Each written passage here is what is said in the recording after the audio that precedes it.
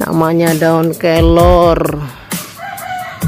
Ini daun kelor karena teman ininya mau diambil ini daunnya seperti kayak ini.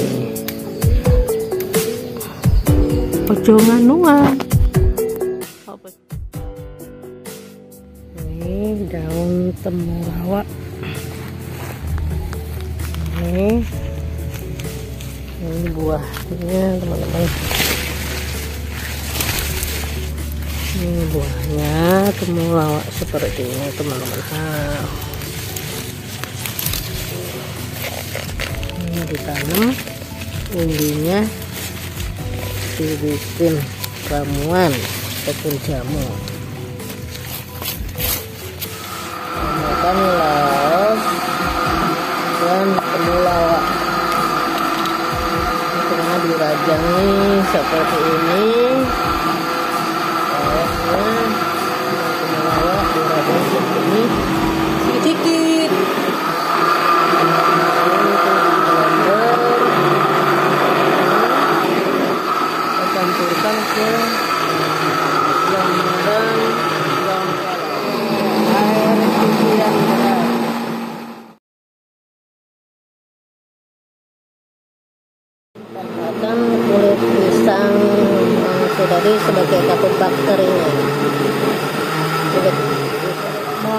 Mau nasi ini airnya tadi ini doang airnya disaring airnya campurkan ini sebagai pengganti empat. Tapi masuknya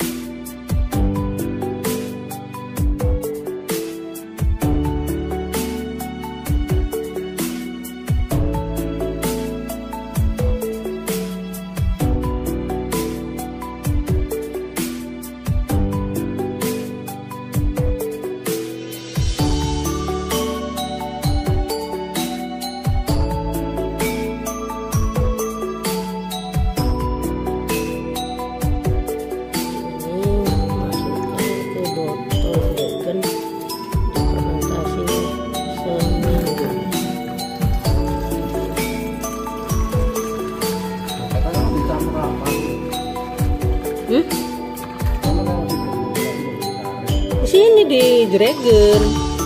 Dong tidak ada nganuin nanti hasilnya yang kita buat ini di permen tadi seminggu baru disaring di permen tadi sudah jadi setengah bulan. Baru dipakai. Jangan lupa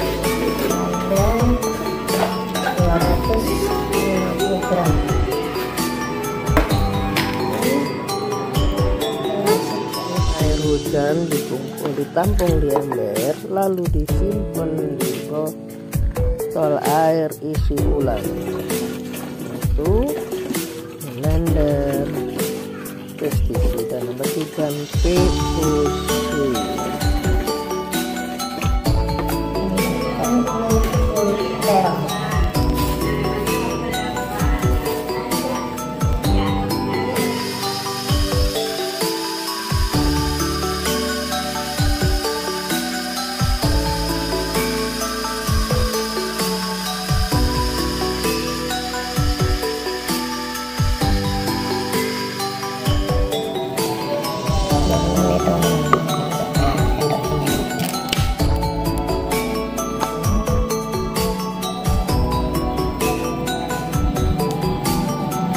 di sendok seperti ini teman-teman.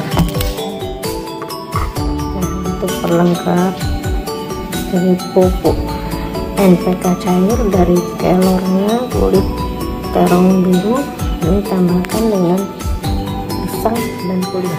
Ini kulit yang tadi yang direnggang nah ini pisangnya tiga biji biola garam nanti tambahkan gula tetes dan juga garam sebagai pelengkap dengan NPK ini mengandungkan unsur mineral unsur N dan khusus setara dengan KCl jadi garam dengan kopi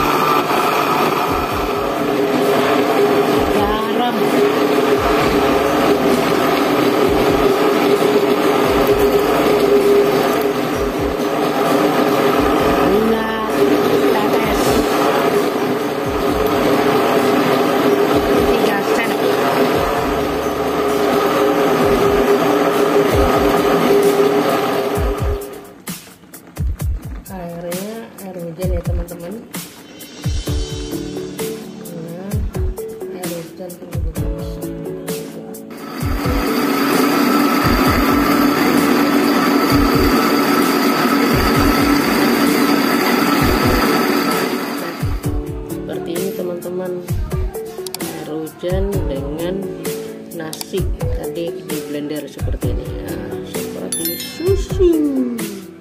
Ini kan akar dari temulawak.